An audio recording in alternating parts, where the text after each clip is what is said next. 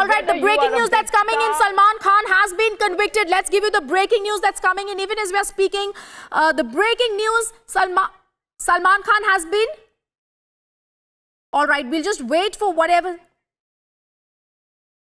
Salman Khan has been convicted by the Jodhpur court in the 1998 Black Buck coaching poaching case. That's the breaking news on Republic TV. The Jodhpur court has convicted him, viewers. We are waiting for the sentencing to happen soon. That would be happening in maybe today or maybe in a couple of days. But the big breaking news that's coming in on Republic TV, Salman Khan actor has been convicted in the Black Buck case for hunting down two black bucks. The trial court was to deliver the verdict today and the verdict has been delivered in the killing of two black bucks. Salman Khan has been convicted. The other actors have been acquitted. This means Saif Ali Khan, Sonali Bendre, Neelam and Tabu have been acquitted.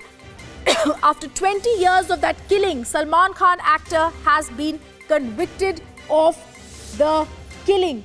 The actors had been facing trial for charges of poaching under the Wildlife Protection Act and the Indian Penal Code. Salman Khan has been convicted. Let's quickly go across to our lawyers and our reporters who are joining us from the ground. Nalini Sharma and Varun who are joining us. Nalini, over to you. Give us more details.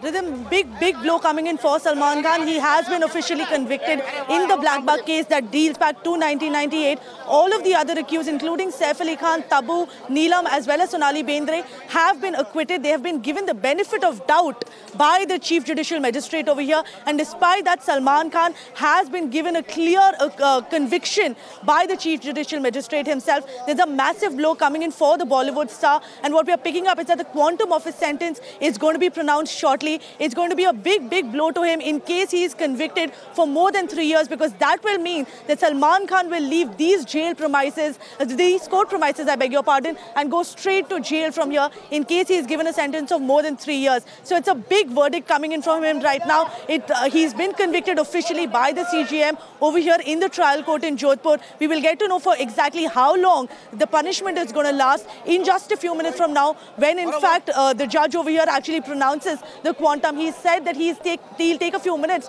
to decide on what the sentence of the punishment is going to be. But the big breaking in coming in right now is that Salman Khan, after 20 years, has finally been convicted in the Black Buck poaching case that dates back to 1st October 1998. And all of his other co-stars have been acquitted for benefit of doubt.